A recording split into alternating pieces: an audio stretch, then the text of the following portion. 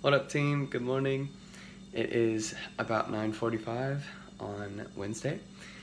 And this is day three of classes online, day two vlog. This morning I have anatomy class online at 10 and then I have sociology at, oh wait, no. I have sociology at 10 and then anatomy at 11. Um, and I get allergy shots twice a week at the clinic on campus, which is a facility on campus that is actually still open, which is awesome. Very thankful for that. Um, so I have allergy shots today at 1. I am about to make some oatmeal and some coffee.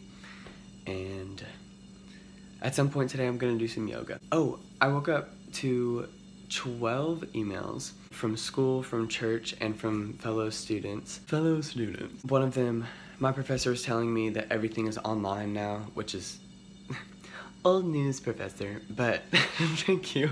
He sent me like where he's gonna post everything and then I got random like course schedule updates for like all my classes. I've gotten so many different new schedules.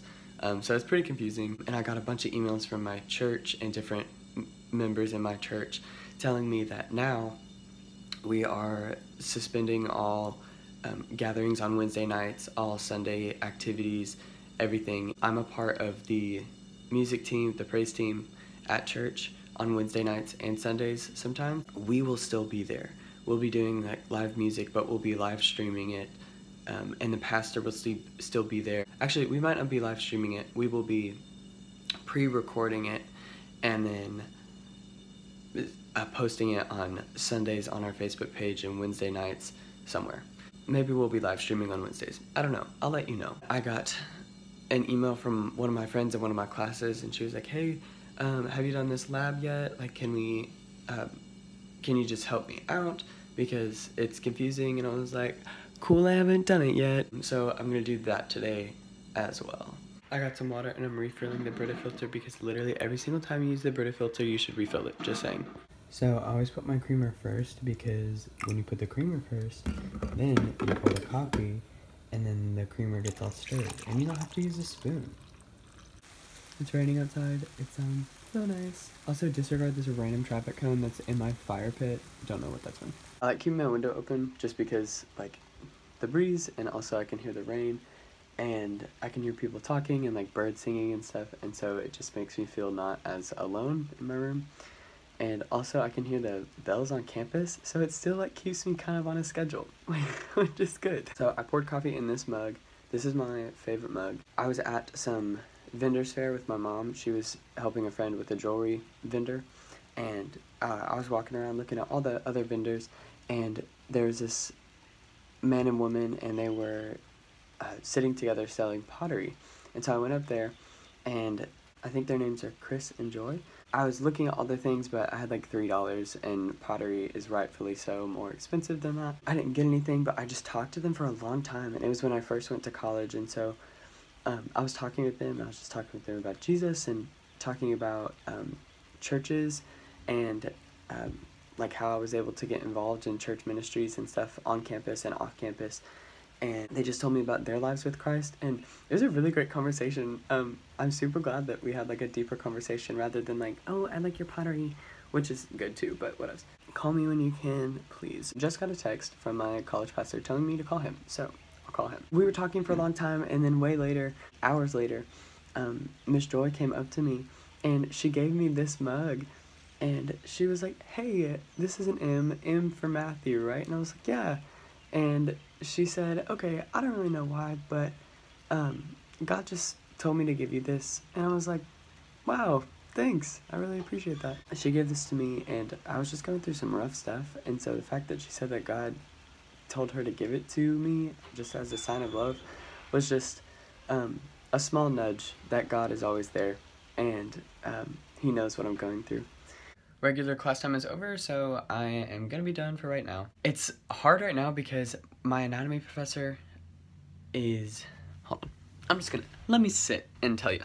It's especially hard right now because my anatomy, my anatomy professor is putting all of her content online and um, she is a mom to a seven-year-old and who is out of school and so she's having to homeschool him and she's having to put all of her handwritten notes into typed notes and upload everything. She uploaded the notes for today, but she hasn't like gone through them like lecture audio wise. And so it was hard because I'm just like reading notes, um, which is totally helpful, but like I don't know like what it's just kind of like reading a textbook but not fully understanding it. And so um, that's what's going on right now. But she's kicking butt because she's literally homeschooling a seven year old and being a college professor and just everything else she has to do in her life. Nevertheless, it's difficult. Whenever she posts audio notes, I'm going to re-go through the notes, I guess, listen to what she has to say, try to read the book. My friends in Nashville, where I did yoga teacher training at Shakti Power Yoga in Nashville, are doing Instagram live yoga as well as their in-person classes. I think as of right now they're just doing live stream yoga. I'm going to join them at 12, which is in like 5 minutes. Hey, oh, we just ate lunch. Um, friends are over. This is Angie. I told you guys that she was here yesterday. Um, and this is Andre. This is my roommate. How do I?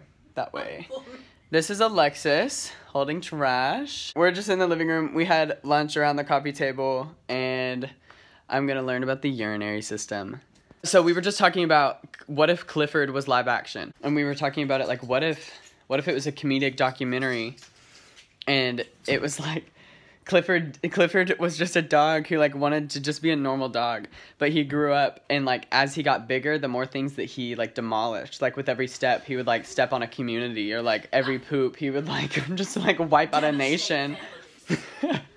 so we were like, what if it was just like shaky camera camera shots of Emily, his owner, being like, Clifford.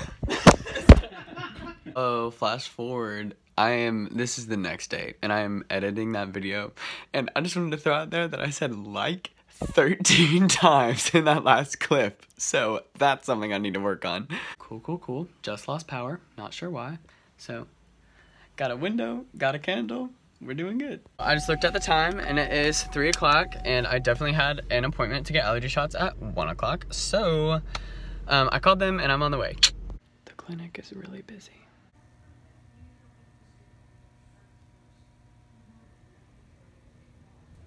I don't know if you can see, I'm trying awkwardly not to record them, but people are having to move out of their dorms if they live on campus, but they can't do like a move out mania thing because the whole reason why everybody's leaving is so they're not here at the same time. And so people are having to move out at different times, and there's literally like three people moving out um, right now. Um, so people are gonna be moving out for the next few weeks. It's gonna be pretty wild. Cornerstone, it is Wednesday night. This is my friend Lauren. Hey! Cornerstone is normally Wednesday nights, and that is the college worship night at First Baptist. As you can see, there's nobody here and half the lights are out. um, but we are doing Cornerstone, which is live streaming tonight on Instagram and um, they provided pizza for us and lemon pie. So praise the Lord always. We're here early, eating, and we're gonna practice, and then we're gonna do it. Amen. Um, what's your YouTube? My YouTube is Lauren Haley. Look me up. this lemon pie slaps. Go.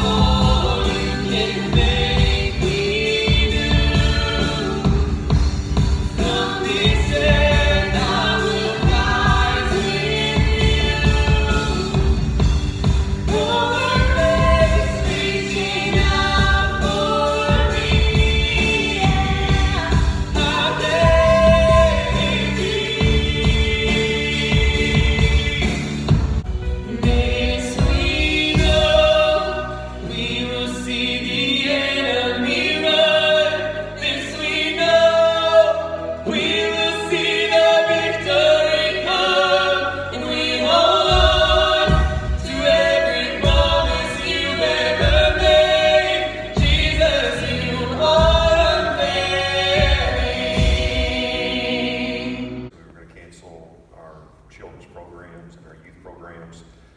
And then on Tuesday, we decided that we were going to live stream on Sunday, and looks like that's going to be. Heyo, doing laundry. Cornerstone was super cool tonight. We live streamed on Instagram. We had a few songs at the beginning, and then the senior pastor and the college pastor came up and did a Q&A. Students messaged them on Instagram and on, sorry, let me come down, maybe. Um, yeah, students messaged them on Instagram and uh, just like texted them different questions that they had um, regarding the gospel and just other things. And a lot of them had to do with the coronavirus, like what's going on, and um, just like how do I continue to share my faith um, while in a season of quarantine? How do I deal with the guilt of lost opportunities from people that I didn't get the chance to talk to, who I won't see um, the rest of the semester, who or who I may literally never see again because I thought I was gonna have the rest of the semester to talk with them, but I won't anymore. And so um, that's a that's a big deal. That's a big question to deal with. And it was really good to listen to what both of them had to say. We got to worship through music at the beginning and at the end, and um, we got cut off at the very end because Instagram, we didn't know this, but we found it out. Instagram uh, only allows you to live stream for an hour. So if you're live streaming anything for over than an hour, letting you know, you'll get cut off. After Cornerstone, I went over to my friend Kat's house and we watched Frozen 2, which was really good. Um, very different than I thought it was going to be. Literally had no idea um, that it was going to end up like that. But it was good.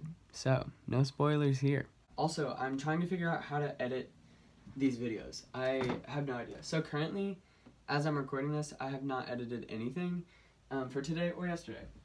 Um, but obviously, as you watch it, it will be edited, and I will have already figured out this problem. Like, the only thing that I've used is Windows Live Movie Maker from, like, middle school when I was on the news network in middle school. And technology has progressed since then, so I have no idea really how to edit a video. A lot of people told me iMovie, but I don't have a Mac, so I don't think I can get that on my Windows computer. I can do it on my phone, but it'll just be small. So I would think that would be difficult, but I do not know. So I'll figure it out.